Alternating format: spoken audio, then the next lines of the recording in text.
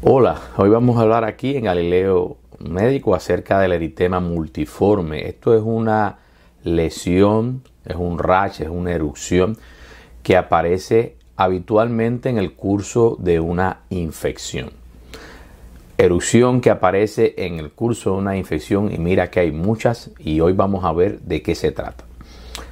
Bien, el eritema multiforme se ve con mayor frecuencia debido a infecciones producidas por dos agentes fundamentales. Uno es el Mycoplasma pneumoniae, que es una bacteria que no tiene pared celular. Y la otra bacteria básicamente no existe, es un virus. Es un virus y es el herpes simple.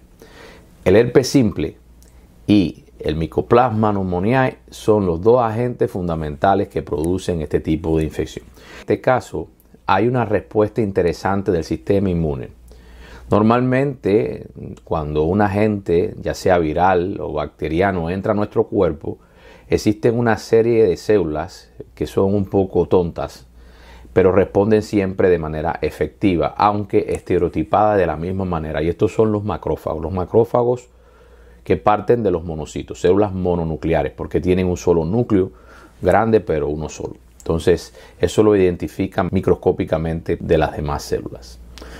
Entonces estas células, los macrófagos, son capaces de engullir, forman una vacuola grande dentro del citoplasma, se pueden comer básicamente a estos microorganismos. Estamos hablando del virus del herpes simple fundamentalmente y de micoplasma neumonía.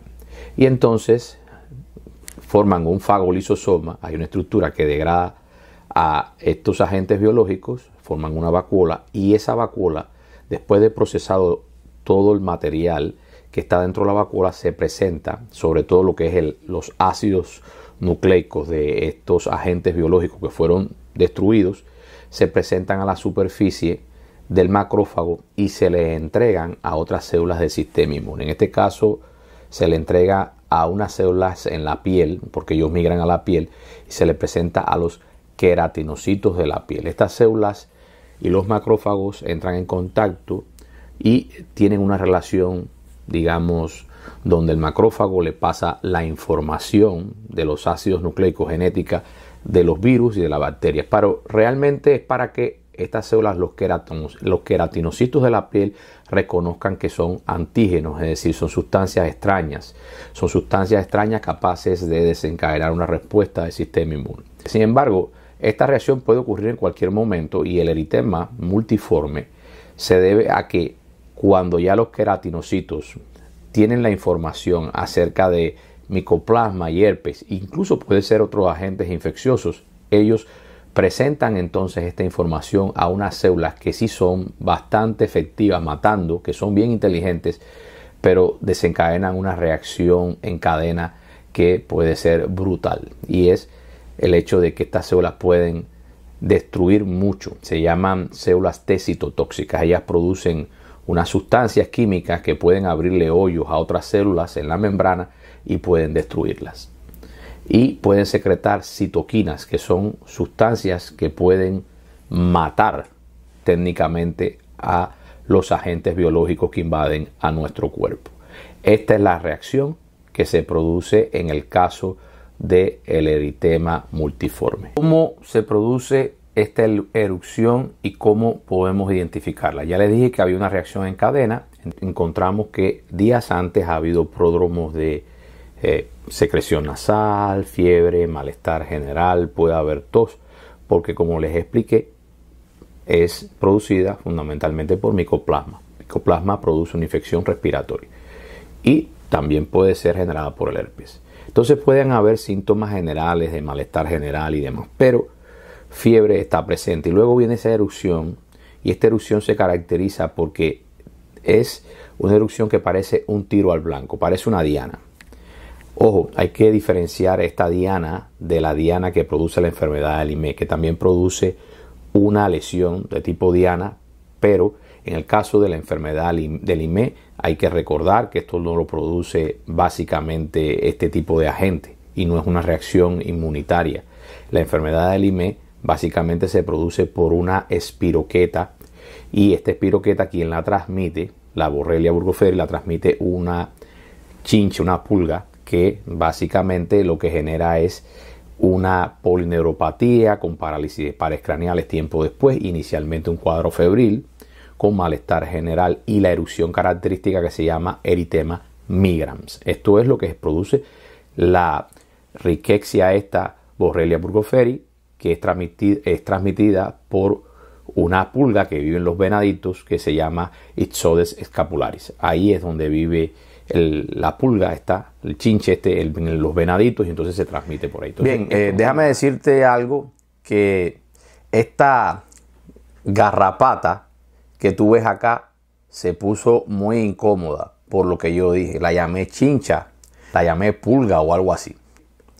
Esta garrapata se llama Ixodis escapularis. Ixodis escapularis es una garrapata, no una chincha ni una pulga. Es una garrapata que vive en los venaditos, generalmente de cola blanca. Estos venaditos están en algunas áreas específicas en los Estados Unidos. Y es precisamente esta garrapata la que transmite una espiroqueta que se llama Borrelia burgoferi y produce una enfermedad llamada borreliosis o enfermedad del IME. La enfermedad del IME tiene tres etapas definidas. Inicialmente, en la etapa 1 cursa con una fiebre.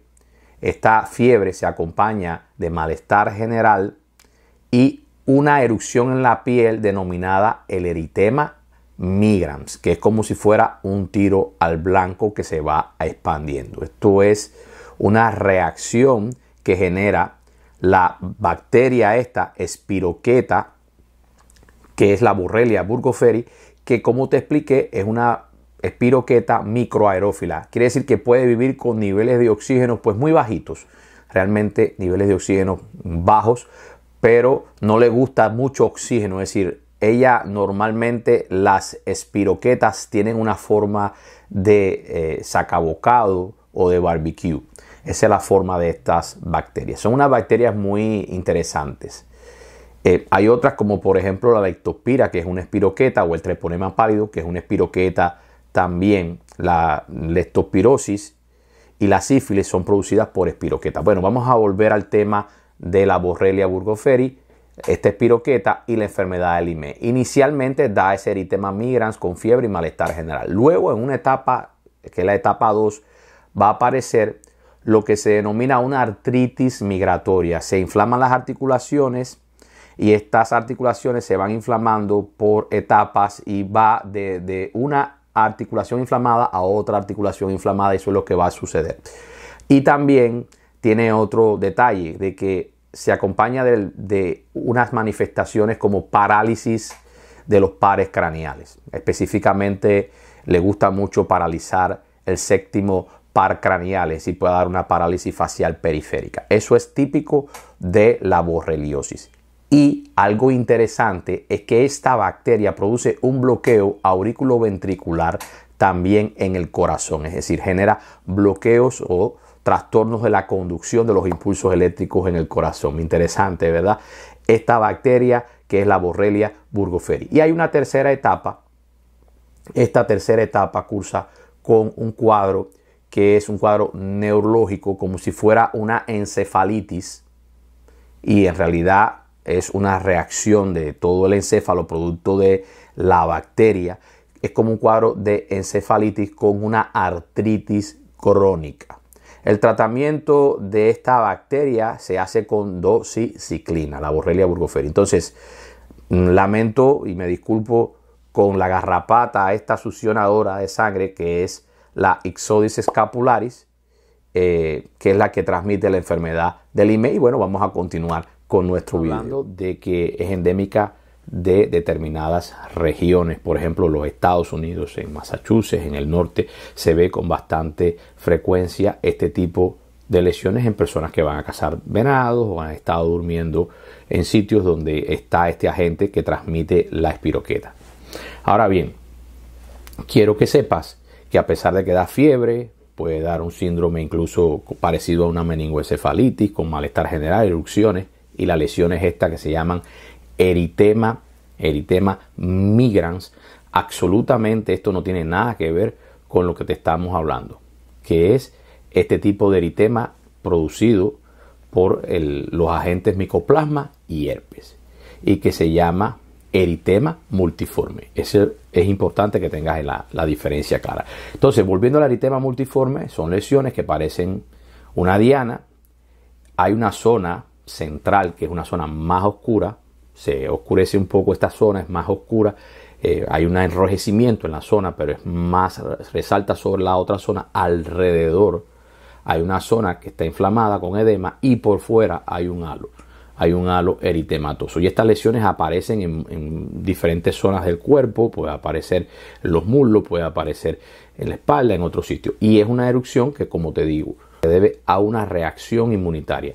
Una reacción en cadena que producen las células T citotóxicas y que estas células T citotóxicas son células que se activan de manera exagerada y producen entonces la muerte de estos queratinocitos que están en la piel y producen la muerte de estos agentes biológicos porque son células capaces de abrirle poros a las membranas celulares de las bacterias y esto genera una reacción en cadena con citoquinas que inflama la piel, hace de que la piel se inflame y que haya esta erupción de lo que te estoy hablando en el día de hoy. Así que bueno, Espero que te haya servido este video y nos vemos en un próximo programa aquí en Galileo Médico. Recuerda que el que no vive para servir no sirve para vivir. Nos vemos y chao.